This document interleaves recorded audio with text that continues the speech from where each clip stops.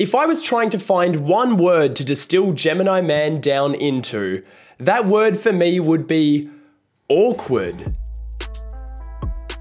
So, Gemini Man, a film 20 years in the making, brought to us by director Ang Lee, best known for Crouching Tiger, Hidden Dragon, the 2003 version of Hulk, Brokeback Mountain, and Life of Pi, which is one of my favorite movies. I haven't watched it in a long time, but back at the time when I first saw it, it was like one of my all time favorites. I absolutely adore that movie because, as you'll be reminded throughout this review, I am a big fan of 3D. This film, Gemini Man, is a 3D action movie shot in 120 frames per second. It's using high frame rate technology, and it basically explores the story of Will Smith as one of these world class assassins, absolute best in the game, who enters retirement but finds out something he shouldn't know and the company that he essentially works for sends a younger version of himself to assassinate him because no one else can do it. The only way to take out the best is to send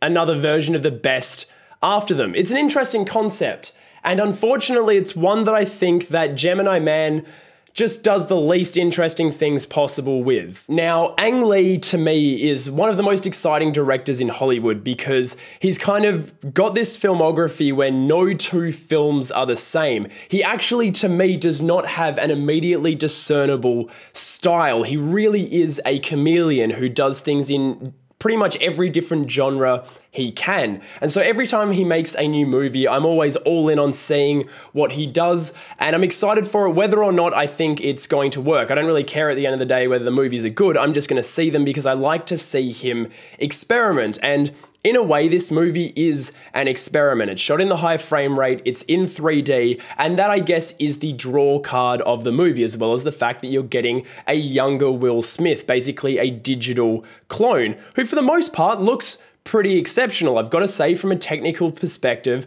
this movie really is something. I appreciate the fact it's shot in 3D. I think the, the high frame rate is incredibly interesting. I, I like the experiment side of it. I like the fact that it's not a movie like Life of Pi or Avatar or Gravity that's done with 3D. It's a bit more of a kind of standard action blockbuster. But that might also be its biggest problem for me because it really doesn't have much in the way of.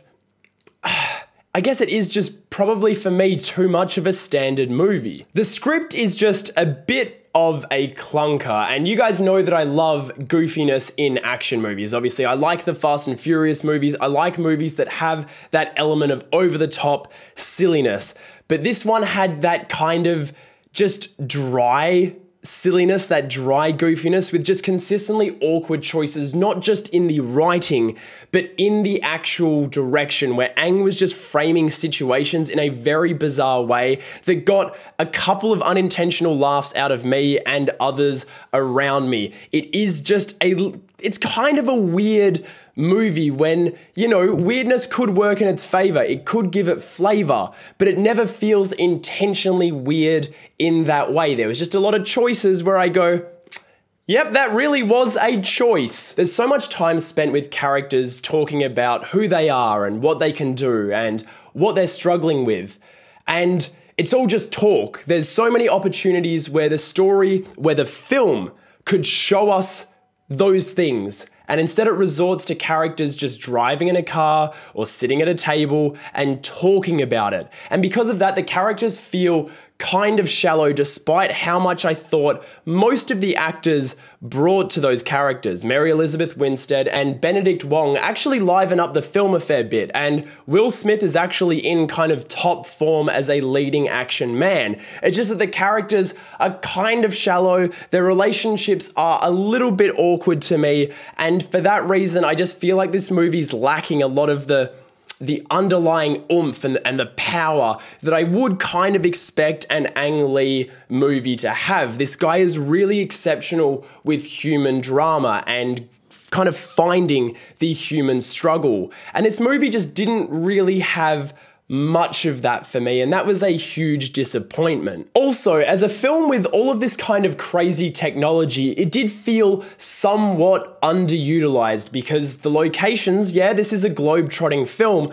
but the locations barely ever allowed all of that, you know, technical photography to pop. There's one location in particular that really made the most of it, and that was my favorite sequence of the film. But quite often it was shot in kind of flat locations, and because of how much light you need to pump into a camera when you're shooting at a high frame rate, a lot of the scenes just feel like overly bright. There's not much actual texture to the photography, and then when we're in a dark space, it's just kind of a little bit flat and bland. Something else I do want to mention is that Clive Owen plays, I guess, the villain.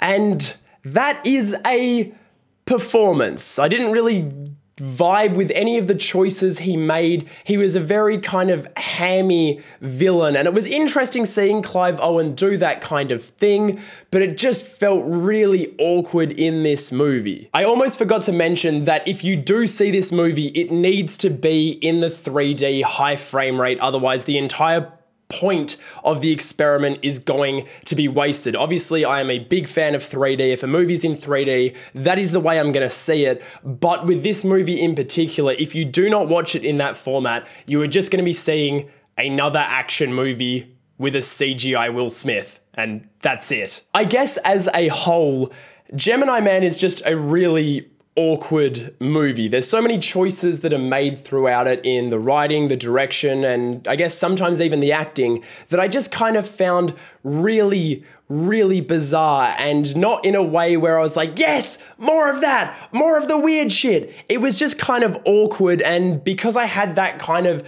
jarring feeling throughout much of it, I did find it not difficult to enjoy. I found it somewhat easy to appreciate, but I just kind of didn't get much emotional investment out of it. I think there's an incredibly interesting story to tell about this character being hunted by his own clone, this idea of almost being hunted by your own past. But I feel like the script missed just about every interesting opportunity available. There's so much that can be done with that. I do have questions about why you wouldn't just cast a younger actor and use makeup to make them older, though I think they wanted that feeling of, oh, look at the technology we can use, look at what we can do now. But again, it just made for another awkward decision. Gemini Man for me is just this collection of very, very weird ideas that didn't really add up to anything that I found overly spectacular. And so, as much as I appreciate the experiment, as much as I appreciate the work that went into it,